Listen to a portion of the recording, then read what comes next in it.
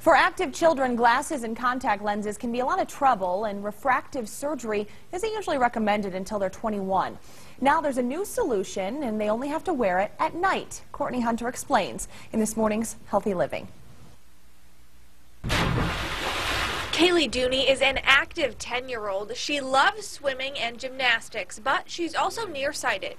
Well, I started noticing when I looked at the clock at school because it was getting blurrier and blurrier each day. Kaylee didn't want glasses or contact lenses to slow her down during the day, so she's trying something new. She wears special corrective lenses at night. When most people are taking their lenses out, Kaylee's putting hers in. So once I got my contacts, it was so clear I could read it if I was a mile away. It's called orthokeratology, or ortho-K. Customized contact lenses gently flatten the cornea to correct Kaylee's myopia or nearsightedness while she sleeps. They actually put the lenses on and trap a layer of tear underneath the lenses, using the pressure of the tear to change the shape of the eye. So flatten the cornea, just after you take the lens out in the morning, you're able to see clear 2020.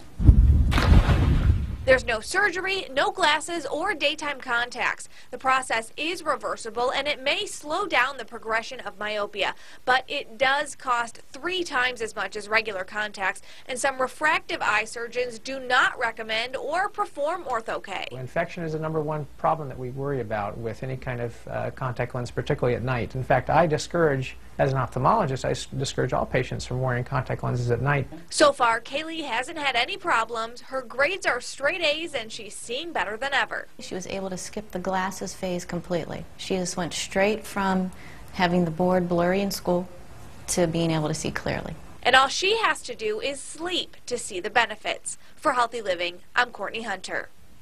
Myopia or nearsightedness has been increasing dramatically over the past 40 years because of our interior screen lifestyle. Experts say it's safe for patients to undergo LASIK surgery after ortho-K once their eyes are fully developed. Dr. Pang says 80% of his patients who choose ortho-K are 7 to 17 years old.